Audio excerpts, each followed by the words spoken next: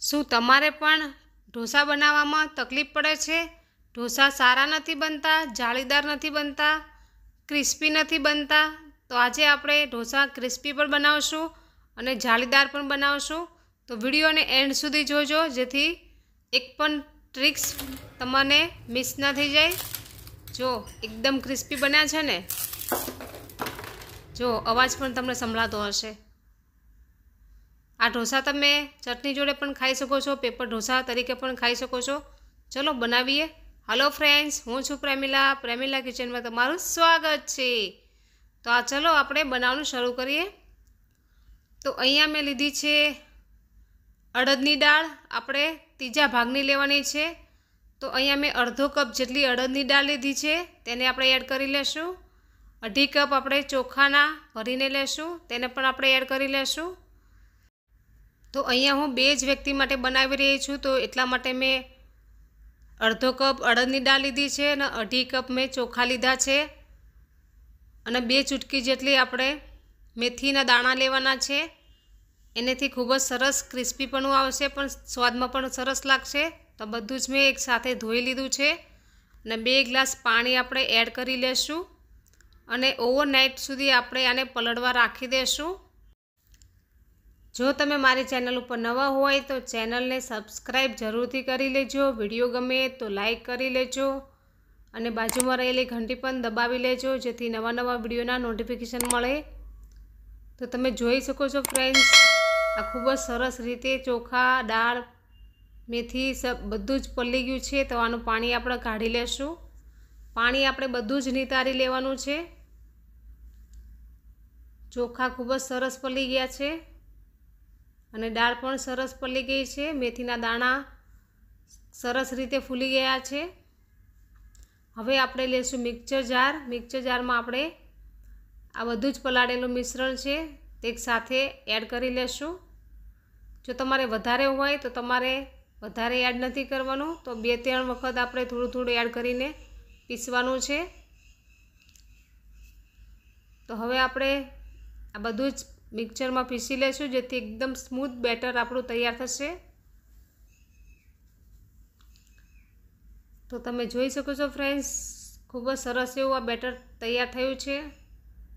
અંદરથી તમને થોડું દરદરું પણ લાગશે, તો આપણે પરફેક્ટ બેટર આવું જ રાખવાનું છે. હવે આપણે એક બાઉલમાં કાઢી લેશું. આ ઢોસા હું સાંજે બનાવવાની છું. તો તેની તૈયારી મેં બીજી નાઇટથી જ કરી લીધી છે.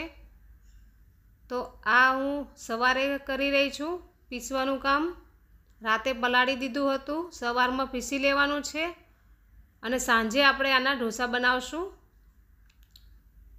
તો સાંજનો ટાઈમ થઈ ગયો છે, હવે આપણે કોકોનટ ચટણી સૌથી પહેલાં પહેલાં આપણે બનાવી લેશું. તો ફ્રેશ કોકોનટ લીધું છે, દહીં લીધું છે, સિંગદાણા લીધા છે લીલા મરચાં પણ લીધા છે. આ ચટણી બહુ જ સ્વાદિષ્ટ બને છે, ખાવામાં પણ બહુ મજા આવશે. તો ચોક્કસથી ચટણી તો બનાવવી જ જોઈએ, ઢોસા જોડે ચટણી બહુ જ ભાવે છે. તો આપણે મિક્સર જારમાં જે લીલું નારિયેલ લીધું છે આપણે, તેને એડ કરી લેશું. ફ્રેશ નારિયેલ છે, એટલે સ્વાદ બહુ જ સરસ આવશે. લીલા મરચાં પણ એડ કરી લેશું. સિંગદાણા બે ચમચી જેટલા લીધા છે તે પણ એડ કરી લેશું. થોડા આપણે લીલા ધાણા પણ લીધા છે, વધારે નથી એડ કરવાના. થોડો ફ્લેવર આવે એટલા બધું એડ કરવાના છે, સ્વાદ અનુસાર નમક એડ કરી લેશું. અને હવે આપણે દહીં એડ કરી લેશું. દહીં ના હોય તો તમે ખાટી છાશ પર નાખી શકો છો. હવે આ બધું જ આપણે ક્રશ કરી લેશું. ખૂબ જ સરસ આ ચટણી બને છે. ઢોસા જોડે ઇડલી જોડે તમે આ ચટણીને સર્વ કરી શકો છો. બહુ જ સરસ લાગશે તમને. ખાવાની પણ બહુ મજા આવશે. જો ફ્રેન્ડ્સ, કેટલી સરસ બને છે. તાજા નારિયેળની ચટણી બહુ જ સરસ એવી બને છે. કોશિશ કરજો, હોય તો જરૂરથી તાજા નારિયેળની ચટણી બનાવજો.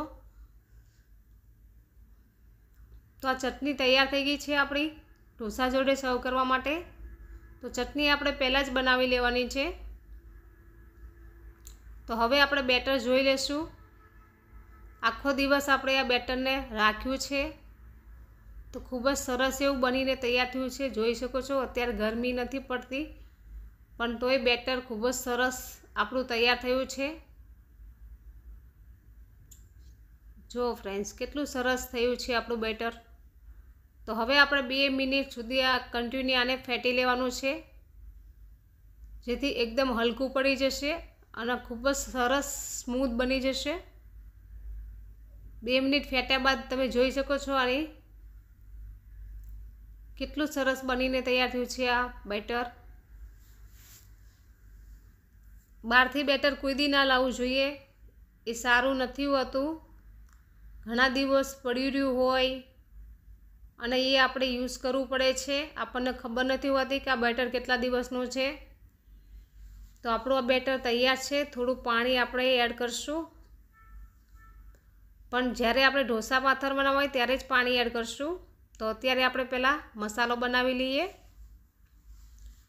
તો એક કઢાઈ ગેસ ઉપર મૂકી દીધી છે અને તેલ એડ કરી લીધું છે. જીરું એડ કરી લેશું, હિંગ એડ કરી લેશું. એક ટીસ્પૂન હિંગ એડ કરવાની છે, એક ટીસ્પૂન જીરું એડ કરવાનું છે અને એક ટીસ્પૂન હલ્દી પાવડર એડ કરી લેશું. ગ્રીન ચટણી અહીંયા મેં બનાવી હતી ખાંડીને જ. મિક્સરમાં નથી બનાવી, ખાંડીને જ બનાવી છે. લીલા ધાણા, લીલા મરચાં, આદું અને લીંબુ અને ખાંડ. આટલી વસ્તુ આપણે ખાંડીને જ ગ્રીન ચટણી બનાવવાની છે. તેનો ટેસ્ટ ખૂબ જ સારો એવો આવે છે. હવે આપણે લીલા વટાણા એડ કરી લીધા છે. જો ફ્રેન્ડ્સ, કેટલી સરસ બની છે. હવે આપણે બટેટા એડ કરી લેશું. આપણે ગ્રીન મસાલો બનાવી રહ્યા છીએ તો ખૂબ જ સરસ એવો બનશે. સ્વાદમાં પણ બહુ સરસ આ મસાલો લાગે છે.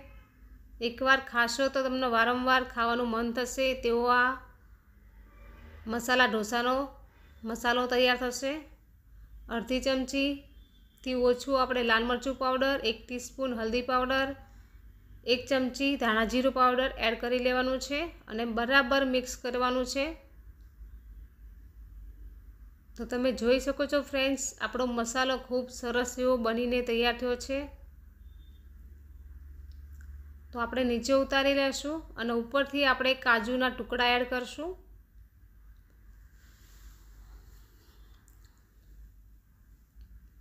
કાજુના ટુકડા એડ કરીને આપણે થોડી આ રીતે મિક્સ કરી લેશું.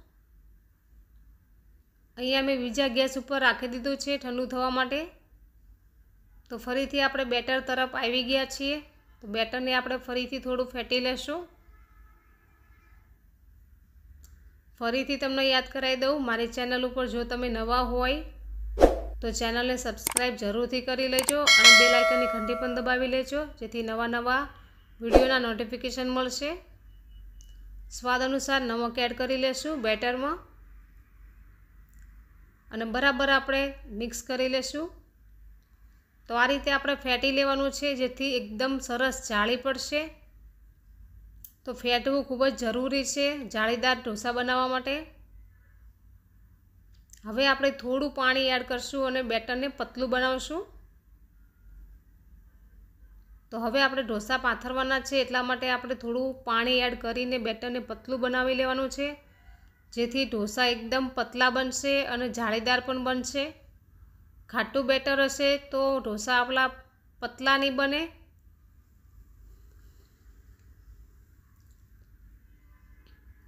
જો ફ્રેન્ડ્સ કેટલું સરસ આ બેટર બનીને તૈયાર થયું છે. તો બેટર બિલકુલ બહારથી ના લાવવું જોઈએ, ઘરે જ બનાવવું જોઈએ. તો ગેસ ઉપર આપણે આયરન તવા મૂકી દીધા છે, તેને આપણે થોડું સીઝર કરી લેશું. સિઝરીન કરવું ખૂબ જ સહેલું છે અને તો પહેલાંથી મેં આને ઘસીને સાફ કરી લીધી છે, હવે આપણે તેલ લગાડી લેશું. તો તેલ લગાડવા માટે અહીંયા મેં રોટલીનું બટકું લીધું છે, રોટલાનું અથવા રોટલીનું ચાલશે. તો થોડું ગરમ થાય પછી જ આપણે બેટર એડ કરવાનું છે. વાટકીની મદદથી આપણે ફેલાવી લેશું. વાટકી મારી ફ્લેટ છે એટલે ખૂબ જ સરસ રીતે ઢોસો આપણો પંથરાશે જો ફ્રેન્ડ્સ, કેટલો સરસ બન્યો. છે ને એકદમ આસાન. બાર જેવા ઢોસા ઘરે જ બનીને તૈયાર થાય છે. થોડું થોડું આપણે તેલ આ રીતે રાખી દઈશું જેથી ઢોસો આપણો એકદમ આસાનીથી નીકળી જશે. અને નોનસ્ટિકમાં ઢોસા ના બનાવવા જોઈએ. નોનસ્ટિક હેલ્થ માટે નુકસાનકારક છે. તો આ રીતે આયરન તવામાં ઢોસા બનાવવા જોઈએ, જેથી એકદમ બાર જેવા ઢોસા બને છે અને હેલ્થ માટે પણ ફાયદાકારક છે. તો તમે જોઈ શકો છો ફ્રેન્ડ્સ, નોનસ્ટિકને ટક્કર મારાય તેવી આ આયરનની લોઢી છે. ખૂબ જ સરસ બને છે આમાં ઢોસા. ઢોસા, પુડલા બધું જ બહુ સરસ બને છે. તો આને તમારે પરચેજ કરવી હોય તો તમે હું આની લિંક નીચે મૂકી દઈશ, તો ત્યાંથી તમે આને ખરીદી કરી શકો છો. તો તમે જોઈ શકો છો ફ્રેન્ડ્સ આપણો આ ઢોસો કેટલો સરસ બનીને તૈયાર થયો છે. બિલકુલ નીચે ચોટ્યું નથી અને એકદમ આસાનીથી આ ઢોસા નીકળી જાય છે. જો ફ્રેન્ડ્સ કેટલી સરસ બનીને તૈયાર થયો ને. ફટાફટ હું તમને બીજો પણ બતાવી દઉં એક.